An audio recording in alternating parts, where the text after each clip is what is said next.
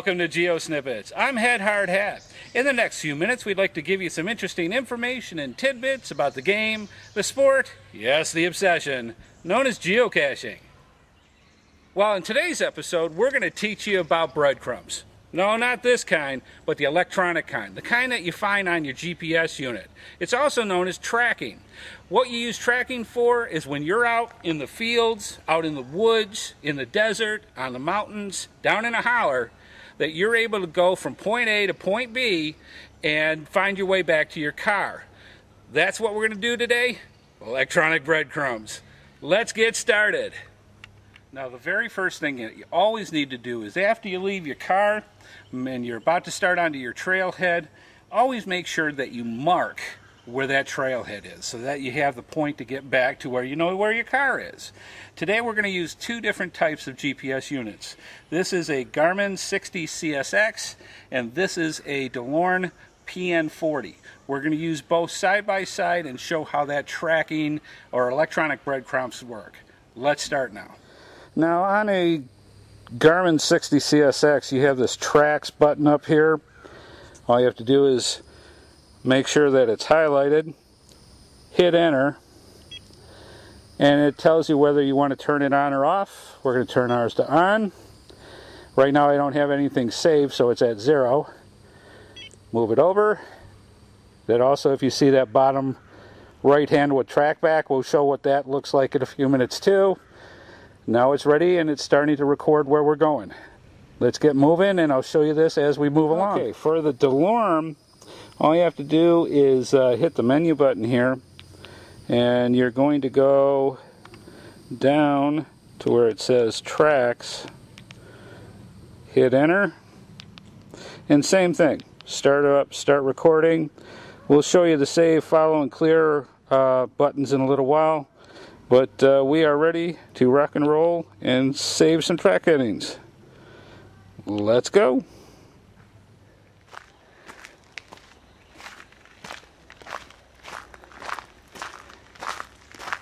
walking through trails. Nice big one like this can be pretty easy to follow. Other trails, not so much. Okay, so here's the situation. You're out in the woods.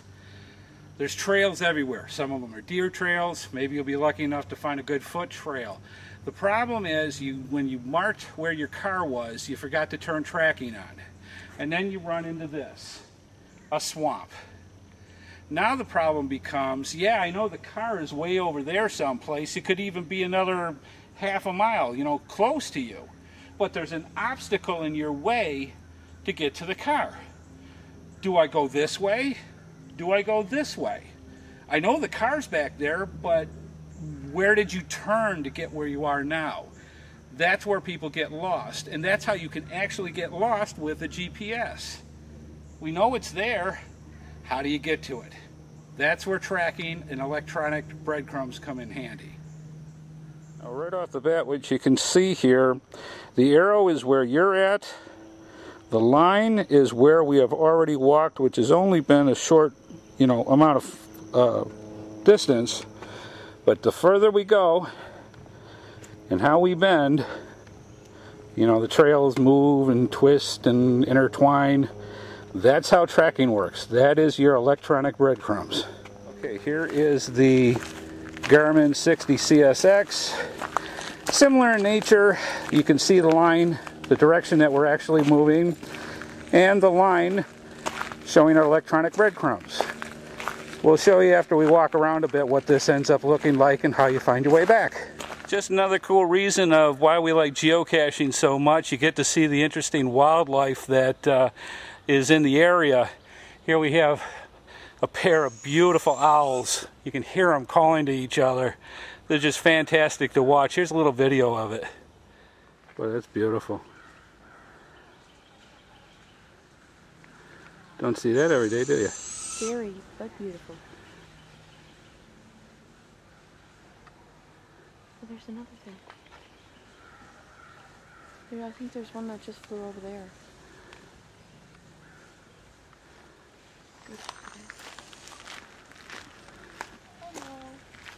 He is watching you. Okay, now you've found the geocache that you were looking for and you want to go back. Or you've gone on a hike and you've reached the halfway point of the total distance that you want to walk. Now what you need to use is the track back features or to just follow the breadcrumbs back on your map. Let's take a look at what that looks like. Okay, so you want to find your way back. It's very simple. You go back onto your menu, for this example on the Garmin, hit tracks, go into it, and then come down to where it says track back. It's really cool because what it does is it shows you exactly where you began, the trail that you followed, and how to get back to it. All you have to do is follow the breadcrumbs back. Now you can see where the Garmin has a track back. The um, DeLorme PN40 has a follow. And for there, all you got to do is hit the enter button, click follow, and it actually recalculates your track all the way back. And you could start here, and it'll actually tell you where to make your turns, left, right, and how to go through.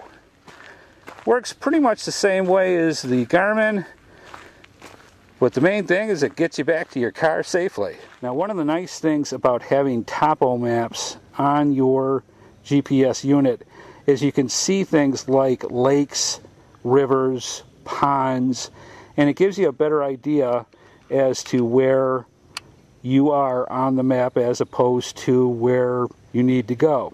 You can see here a lake that we're next to and the tracks of where we went so far and how close we are to the lake but it's very nice to have these topographical maps on your GPS.